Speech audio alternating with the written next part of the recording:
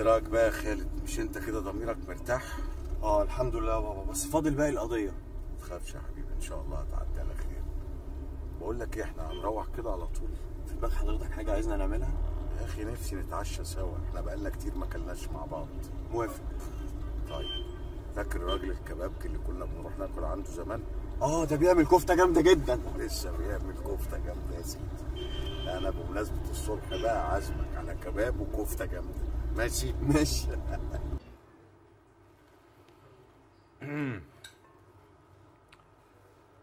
قول لي بقى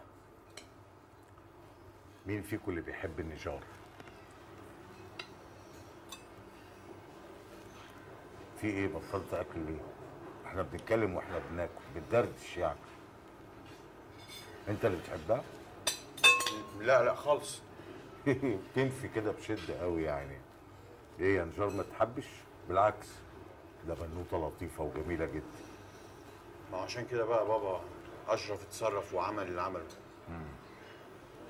قصدك الخناقة يعني؟ آه. ماشي. هي بقى بتحب أحمد وما بتحبش أشرف. مظبوط؟ مظبوط وأشرف عاوز يخطبها بس هي يعني مش مش موافقة.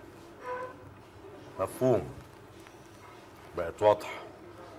طيب سيبك بقى من أشرف وأحمد والكلام ده كله. أنت حضرتك بقى بتحب مين؟ بابا ما قلتليش حضرتك عجبتك الكفتة. فظيعه أنت بتغير الموضوع ليه؟ المفروض إن إحنا أصدقاء. أي أب لو عنده ابن في سنك كده لازم يبقوا أصدقاء. عارف ليه يا خالد؟ عشان لو ما حصلش ده الابن يتوه وما يعرفش سكته. والأب برضه يتوه زي ما أنا تهت عنك كده. حضرتك تهت عني؟ تهت عنك. عارف إيه الدليل؟ إن أنت صديق لابن شكري عبد الرؤوف. أي حد في الدنيا لو قلت له إن خالد ابن كمال أبو العزم صديق لابن شكري عبد الرؤوف مش هيصدق. بس أنا صدقت. عارف ليه؟ لأن أنا سبتك السنين دي كلها. سبتك تبقى ست والدتك هي اللي مسؤولة عنك. بابا انت خلصت كده مش هتاكل؟ آه أنا خلاص شبعت. كمل انت براحتك. قول لي يا خالد انت حاسس ان انت فخور بيا ان أنا أبوك؟ نعم يا بابا. بقول لك حاسس انك فخور بيا ان أنا أبوك. اي حد في مكاني طبعا لازم يبقى أنا مش فخور. عايز أي حد. أنا عايز ابني بابا أنا شايل اسم حضرتك وعايش بيه فأكيد أنا فخور بيك طبعا. عظيم. يا ريت تخليني أنا كمان أبقى فخور بيك. أظن إن من حق عليك إن أنت تحافظ عليا وعلى اسمي. أنا دايما كنت قبل ما أعمل أي حاجة أسأل نفسي الحاجة دي تليق بولادي ولا هتسيء ليهم أنا حافظت عليكم.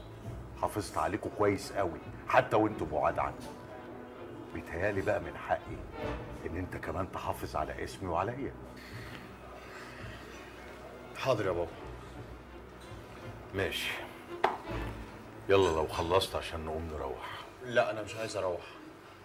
يعني إيه مش عايز تروح؟ أمال هتعمل إيه؟ أنا هاجي أبات مع حضرتك.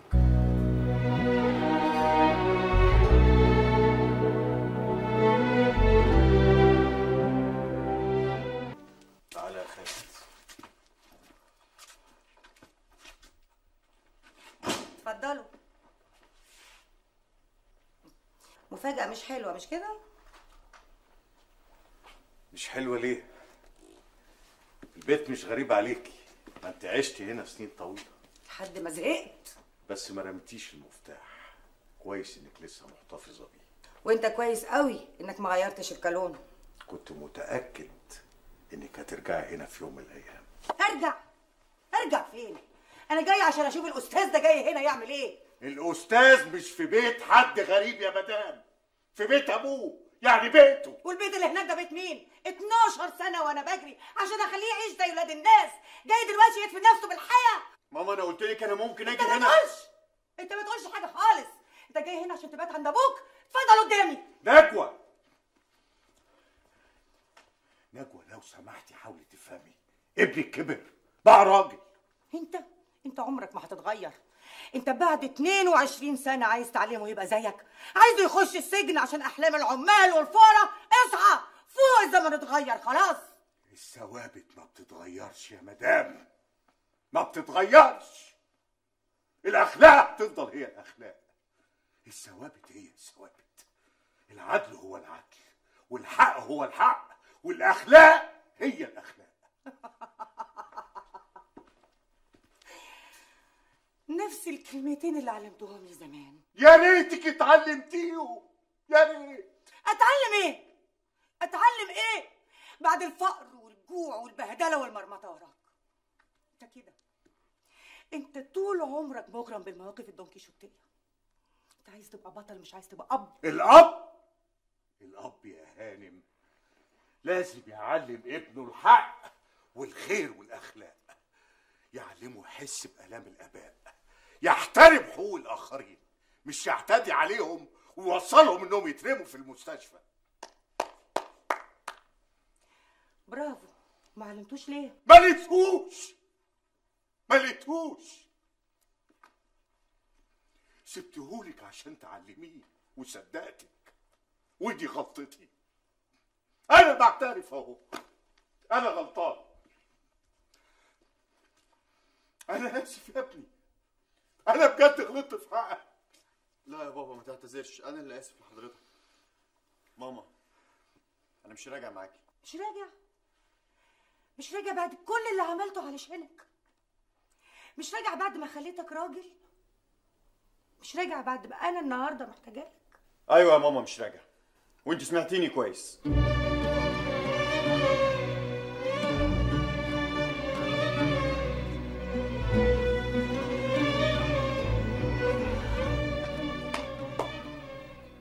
لازم ترجع مع أمك دي أمك محتاجالك وهي اولى مني فاهمني دي أمك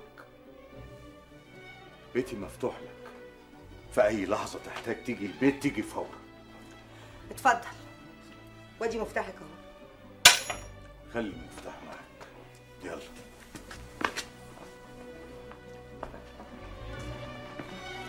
مدام نجوى. أفندم. ابنك معاكي. عشان انت قلت إنك محتاجاه. خليكي فاكرة. ومهما بعد عني هيفضل ابني وهفضل أنا ابوه أول ما حصلت له مشكلة جيتي جري عشان ألحقه. يا ريت تفهمي ده كويس إنه هيفضل ابني مهما بعد عني وهيرجع لي. هيرجع للأخلاق والأصول. فاهمة يا مدام؟ مع السلامة. اتفضل.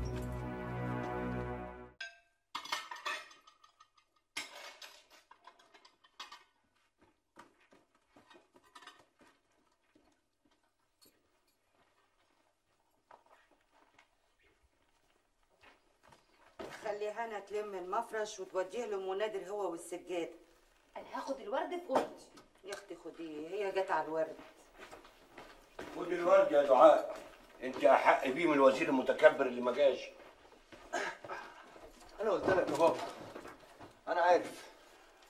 اللي أنت ما تعرفوش إن الحق بتاعنا بقى اتنين. في البلد عندنا في الفلاحين يقولوا إيه؟ أخد الحق صلع شيل شيل قدامي وخلي بالك ما نحكش في الباب. عشان بقى ماما ما تزعقلناش.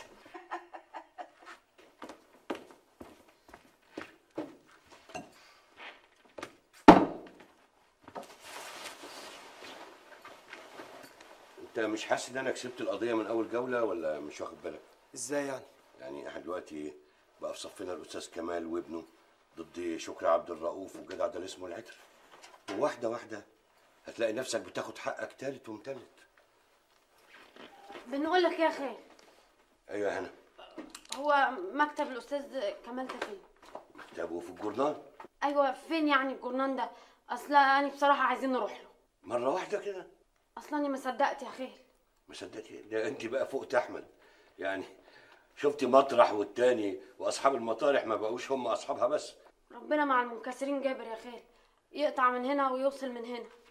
يقطع في إيه ويوصل في إيه؟ أنت ما صدقتي والنبي يا خال ما تكسرش مجاديفي أنا ما صدقت عشان أروح له. وبعدين اللي يشتغل عند الأستاذ كمال في المكتب ده كأنه اتخرج من الجامعة وخد الماجستير كمان. والنبي يا خال عايزه أروح قبل ما حد يلطش مطرحي لا بحاضر يا بنتي. هبقى أخدك أوصلك. ولا أحمد يبقى يوصلك في سكته. أحمد يوديني؟ طب خلاص. أنا هبقى أوصلك وبعد كده تعرفي السكة لوحدك. ردوا على التليفون. التليفون ده ليه؟ ريح روحك ما لحقتش توصل. يعني الدكتور اللي لحق يوصل. شت. ألو؟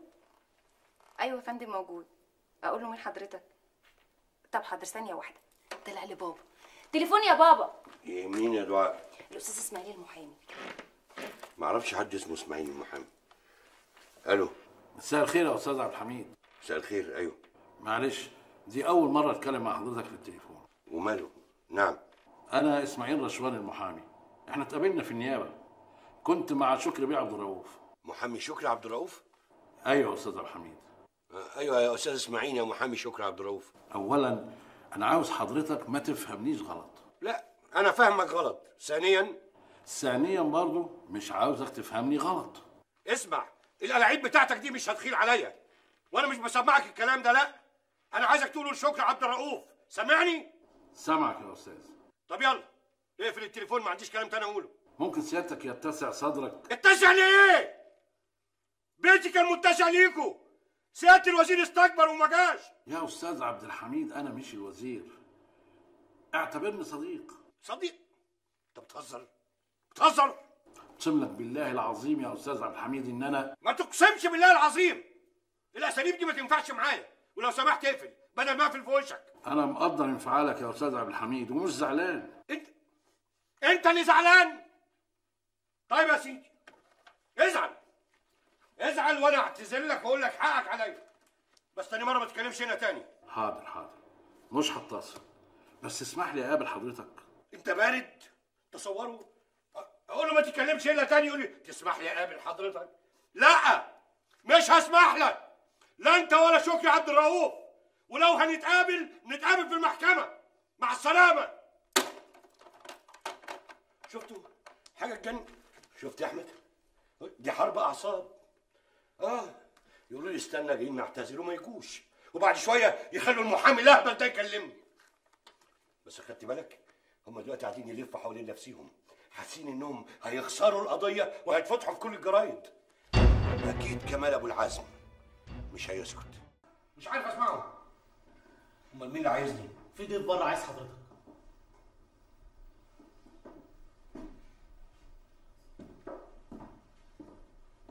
السلام عليكم يا أستاذ عبد الحميد. طب اتفضلوا أنتوا. وأنا هبعت لكم تاني عشان أشوف حكاية الجدول. بس ما حدش يقول لي مش هياخد الحصة الأولى. لازم نشيل بعض. أنا آسف إن أنا جيت من غير ميعاد بس متأكد إنك أنت هتسامحني.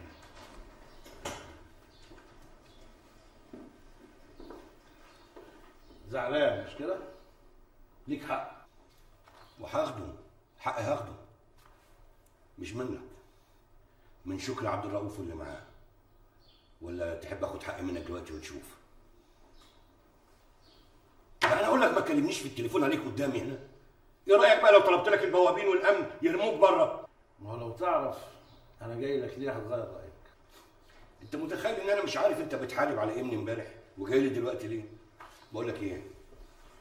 خد بعضك واخرج من المدرسة بأمان زي ما دخلتها. خلاص نخرج سوا. يا سلام!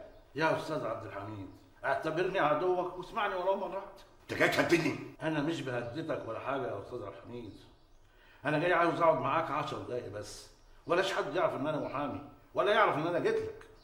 أقسم لك بالله إن أنا ضميري بيوجعني. وعاوز أساعدك. تساعدني؟ واساعد نفسي.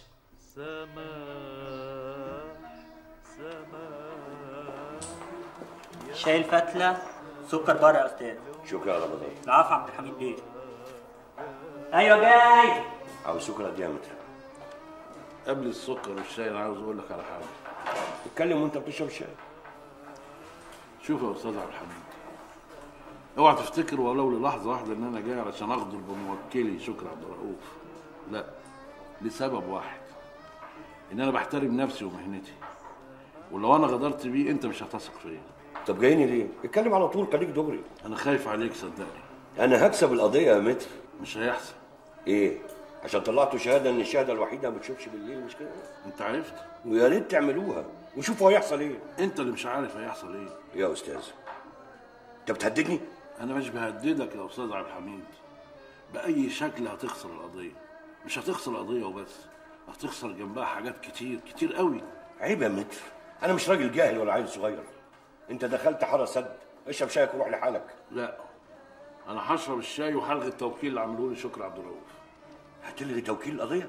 كل القضايا. هقول له شوف له محامي تاني غيري. عارف ليه يا أستاذ عبد الحميد؟ ما أقدرش أقف قدام القاضي وأنا كذاب. والفق لك بدل التهمة خمسة وعشرة أنت وابنك. ما أقدرش أبقى كذاب وأنا حالف اليمين. وأضر راجل طيب زيك. كل جريمته إنه محترم وبيدور على حق ابنه. يا سلام. أنت شايف كده؟ ولازم تختار يا أستاذ عبد الحميد. يا تتنازل وتحمي نفسك. وتحميني يا اما أنا هسيب القضية. شوف يا أستاذ إسماعيل أنا هفترض إنك بتكلمني بضمير المحامي. وهقول لك حاجة. نفترض إن أنا راجل طيب ومحترم زي ما أنت قلت. لو اتنازلت هفضل محترم في نظر ابني ووالدته وإخواته أو حتى في نظرك؟ تمن غالي يا أستاذ عبد الحميد. مش أغلى من دم ابني وشرف أبوه.